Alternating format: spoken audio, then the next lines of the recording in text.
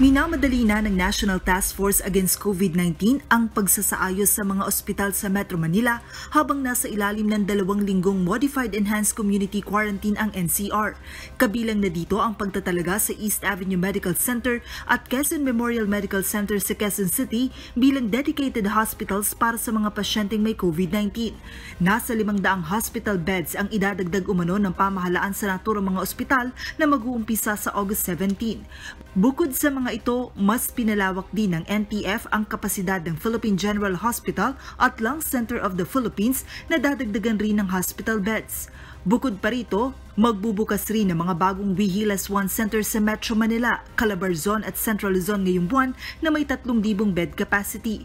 Bagaman aminado na kulang ang dalawang linggo upang makontrol ang pagdami ng kaso ng COVID-19, ayon kay NTF Chief Implementer Secretary Carlito Galvez Jr., ginagawa nila ang lahat ng paraan upang matulungan ang mga health workers. As we expected, yung, ano, yung 15 days niyan is not enough to address or arrest or contain the new cases.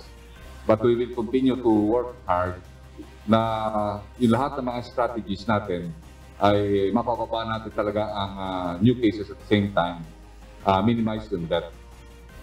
Samantala, binuksan na kahapon ang One Hospital Command Center o COVID-19 Command Center.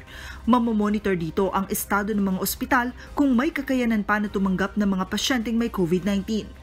For the One Hospital Command, uh, what we are trying to put here is a very coordinated care in terms of transfers and referrals and medical direction.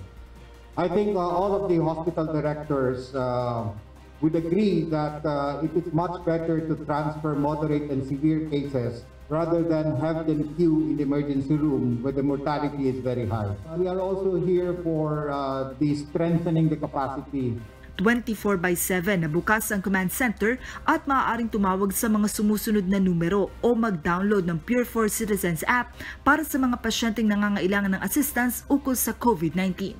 Joan Nano, UNTV News and Rescue.